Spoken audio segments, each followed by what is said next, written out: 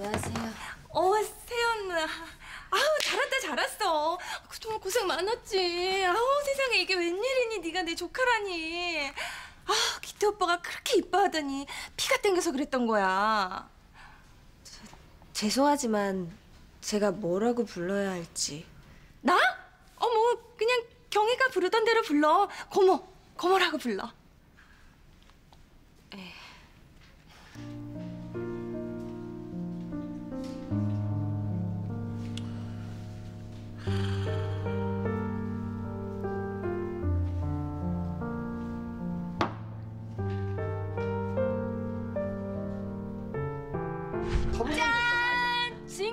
왔습니다. 생일 축하합니다. 생일 축하합니다. 사랑하는 세연이. 세연이 유학 난 찬성 무조건 찬성. 나도 찬성. 나는 완전 찬성. 축하해. 잘 갔다 와.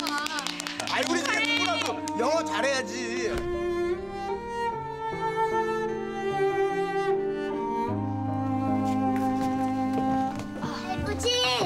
아버지 저희 왔어요. 아이고 내 새끼 옹이 왔어. 아니 학교는 왜 안 갔어? 개교 기념. 아유 아버지 저희 집 보일러가 말썽이에요. 갑자기 안 돌아가. 뜯어서 봐야 된다는데 공사가 클 거래요. 저 그동안 저희 여기서 좀 지낼게요. 할아버지, 나500 맞았어. 아 그래? 아이고 내 새끼 장하다 장해. 노래도 불러드릴게요. 잘될 거야. 아유 아침부터 무슨 소주를 드셔요. 식사를 하셔야지. 에휴. 그래, 그래, 잘될 거야. 어두운 밤 지나가고 취임식은 당분간 연기됐습니다. 대표님 공식 일정은 오늘 오후 3시 임원회의부터입니다. 그보다 내 생모 찾는 일은 어떻게 돼가고 있어요? 믿을 만한 사람한테 맡겼습니다.